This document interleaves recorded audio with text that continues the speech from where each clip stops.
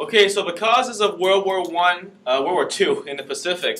To what extent was Japan responsible for the Pacific War? Last time in class, uh, we already looked at this, and a couple of questions come to mind. Um, number one was Japan planning for the war from the early 1930s, um, and that was one of that's one perspective that Japan wanted a war in the early 1930s, and the emperor was involved, and Japan was uh, pretending to be willing to negotiate for peace but uh, the reason why they were willing to, they were saying that they wanted to negotiate peace was really to surprise people, so that when they start a war, it's a surprise attack. That's one perspective. Uh, and um, and that's also the perspective that uh, David Bergam, Bergamini had, and this this was really, you know, this idea was really um, it was released in 1971. Now uh, another perspective that on Japan's degree of responsibility in World War II is that Japan was pursuing a traditional imperialism. You need to remember at that time Japan uh, modeled itself after um, the, the Western imperial powers. In the Meiji Restoration, which we haven't looked at, but we will look at in the future, in the Meiji Restoration, Japan uh, went through a modernization process in which they got the British, they copied the British Navy, they um, copied uh, the German military, and to some extent they also copied American uh, imperialism, in which, uh, you know, in the, later on in the Russo-Japanese War, uh, Teddy Roosevelt actually comes out and there's actually some documentation of Teddy Roosevelt, the president at that time, praising America, sorry, praising Japan for what they do, for what for pursuing a successful um, empire in Asia. So this traditional imperialism, this point of view is similar to uh, the, the point of view on Hitler and how Hitler you know, took too many risks and stumbled into war. Same thing. Japan was pursuing the, like I said earlier, the, not this one, not this one either, okay. Japan was pursuing the co-prosperity sphere in Asia. And because uh, Japan took too many risks, they stumbled into war. That's another perspective. However, a counter argument to that perspective is Japan's declaration of war. Hi there, on here. Thank you. Uh, another, but a counter argument towards Japan's, uh, you know, stumbling into war is that they they were the ones who declared war. If they stumbled into war, why would they declare war? Right? And, uh, but, and so therefore Japan should be responsible.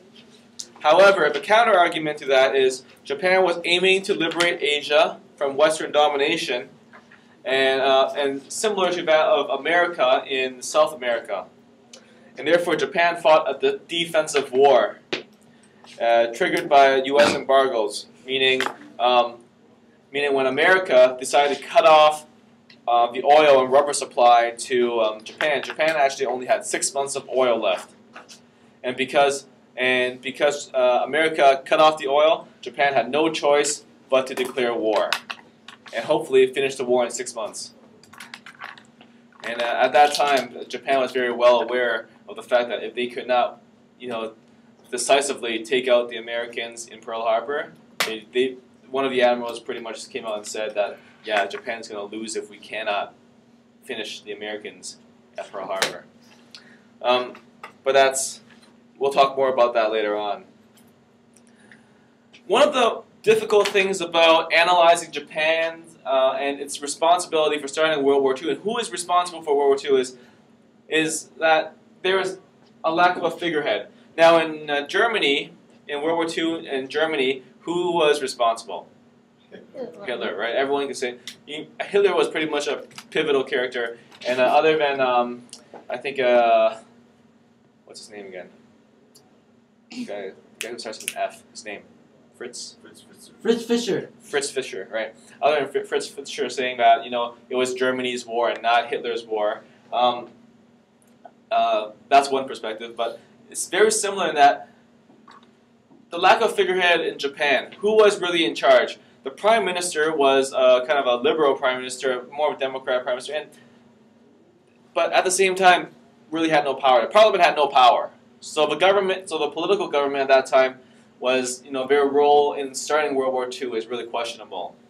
On the other hand, the military was in power, but at the same time, the military, who, who is the military? Right? Maybe some head generals. But at the same time, you can't really point your finger at one of them. Is the emperor responsible? No.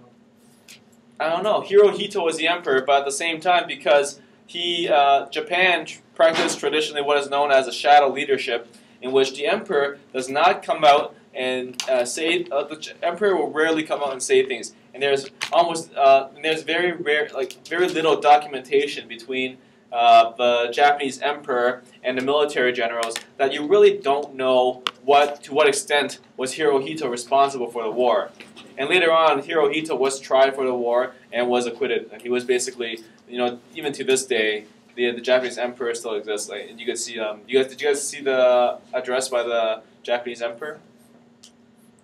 The about the nuclear, the nuclear, uh, Ah. the tsunami and the nuclear uh, power plant that's happening in Japan right now. The emperor came out and said stuff. And uh, the other big occasion that happened in the past was, you know, when they dropped the atomic bomb, uh, the emperor came out and said things too. I think there are some times in between which the emperor also said things, but these are the two more catastrophic situations. And so the emperor was retained. Some people say that the emperor was retained so that America could fight the Cold War. Um, and that the, uh, that the emperor should be responsible. And this, and w- later on, we look at the Tokyo trials, uh, which is you know the, kind of closes off the World War II in Asia. You know, in the West, they had Nuremberg trials where they tried the Germans for their war crimes, for uh, you know um, Auschwitz, uh, the Holocaust. Um, they tried the Germans there. Asia had something similar where they uh, tried the Japanese in the Tokyo trials, but the Japanese, many of the Japanese leaders were actually not punished. We'll be looking at that later on in the future. So, long-term causes. We're going to start looking at the long-term causes of uh, World War II for Japan. Now, Japan's uh, relation with the West traditionally has been that of isolation. Japan was isolated from the West. They did not really want to deal with the West.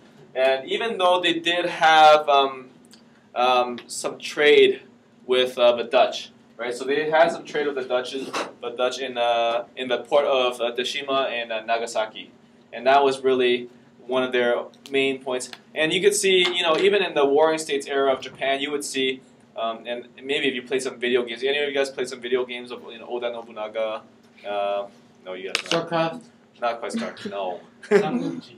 yeah, something like Sanggukji. Oh, you guys know there's a Changguk Musang. Oh, yeah, that's fun. Changguk Musang. Yeah. Right. Uh, um, no, there's a Sangguk Musang and there's Changguk Musang. Uh, Chang Changguk Musang. Is it Chan Chan? Changguk Musang.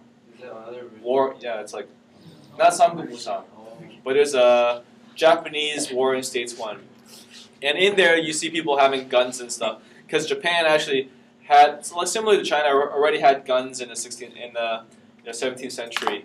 They already had guns there, but isolationism was was set because they did because the Japanese were aware of the Christians and they thought they saw they perceived the Christians as a threat to their civilization. Um, their government was feudal, and they were feudal politically, economically, um, and socially. They ma- maintained a feudal state. And what I mean by a feudal state is they had a system, Feudal state. a feudal state, feudalism. What does that mean? Uh, 퐁 퐁경, 퐁 폭력. um, 퐁경, 편견? 공 공경. 퐁경. 공경. Yeah, 퐁경제도. 어, 공경제도.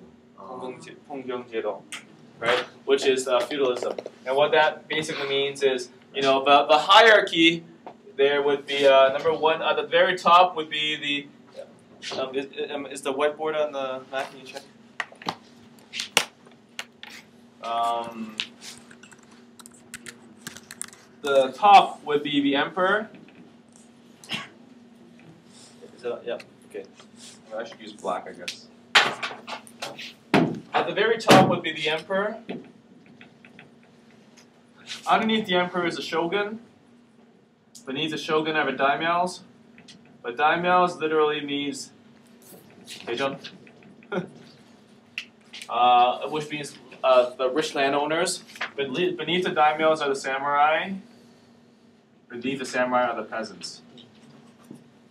Right, and that's kind of the system with uh, the feudalism, which you know there is kind of like a triangle and which the upwards is only one emperor. There was only one shogun. Shogun was the military leader of Japan at that time. Daimyos were those who the, the great the big landlords who spread across Japan. And uh, the daimyos also had samurai who you know pledged loyalty to them and fought for them.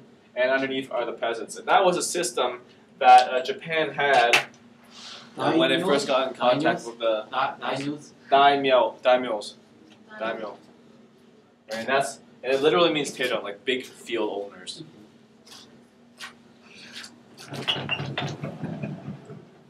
Dutch traders came around, and, and so, so the Dutch traders were there, uh, and until and this system pretty much lasted until Commodore Perry came about, and Commodore Perry is this guy.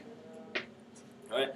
Commodore Perry was uh, was an American official under the command of uh, President Millard Fillmore to travel west to set uh, relationships with China, uh, set a relationship with uh, Japan. And at that time, it's you need to know that at that time it was um, after China has just lost the, the uh, Opium War, know, both of the Opium Wars, and Japan knew about China. But I'll talk about that in a second. Here is a Japanese painting of the ship at that time, and this was called gunboat diplomacy. You need to know this term. Gunboat diplomacy,